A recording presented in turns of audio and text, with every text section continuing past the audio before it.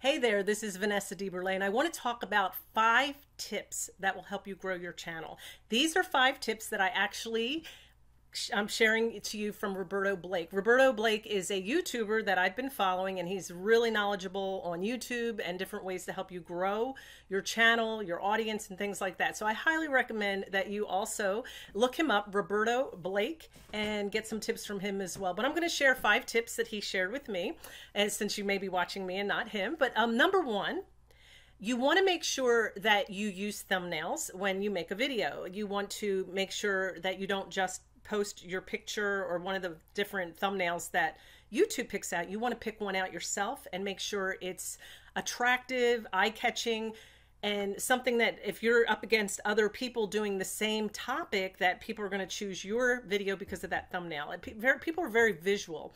You might want to analyze which thumbnails of your own seem to be getting more hits. Maybe you're you've used certain colors and you're noticing those are the top ones. So do analyze yourself and what you're doing. Um, compare yourself to yourself if that makes sense as well. Um, there are analytics that um, YouTube provides that you can use, but you also want to, but they don't really um, provide analytics on your visual thumbnail per se. So you're going to have to make those determinations. Number two, when you're making a YouTube video in the beginning, don't worry about quality as much as quantity. Most of your videos in the beginning are not going to be seen by a lot of people. That's just the way it goes. You're not, nobody knows about you yet. And what you're building up right now is content. You're producing every single day.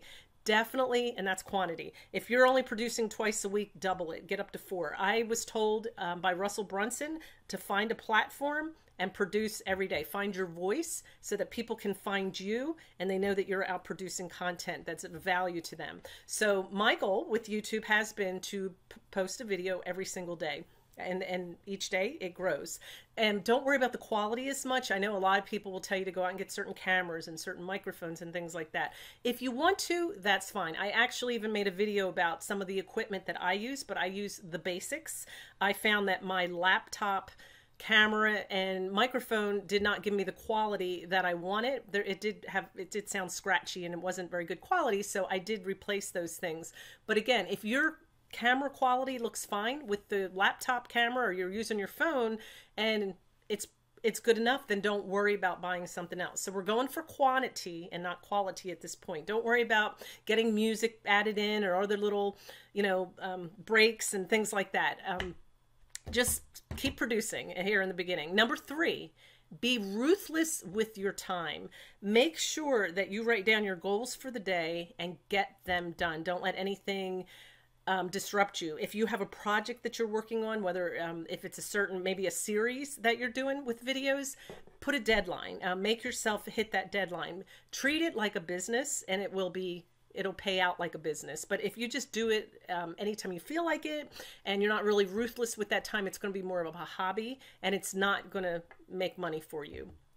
Number four, use content strategy. A lot of people, and I've done it, I'm guilty of the same thing, but sometimes when we make a video, we tend to want to just make a video of something we have an interest in. And that's okay. I, I have to say, sometimes if you want to do that, that's fine. But overall, make sure you're paying attention to what people are looking for and what they want and then you're going to be searched and you're going to be seen. Um, again, maybe here and there you might want to make one because it's of interest, but don't expect that to be profitable for you if you do it all the time.